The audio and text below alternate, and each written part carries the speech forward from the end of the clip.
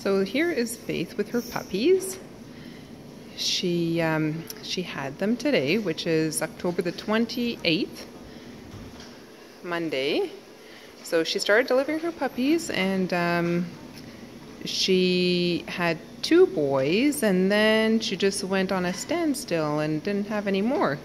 So we brought her into the vets, and we had a C-section done on her. Um, so we have eight living puppies. They're all doing great. Um, they're very hefty puppies, not skinny at all. And um, yeah, the C-section went well. Faith is doing good. And uh, yeah, our babies are doing great. So we have five boys, three girls. Wow! Wow! And my daughter's loving the babies. huh? You like them, eh, Hadassah? Yeah. She was so she was so stunned to see a puppy. It was so cute.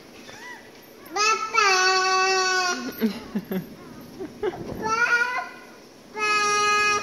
Ah, She's too busy cleaning her puppies. She doesn't want that. Hey? She doesn't want that. So anyways, um, next week we'll have them all identified with um, colors. And um, I will be showing them up to the camera um, next week. Alrighty, so hope you guys like this video.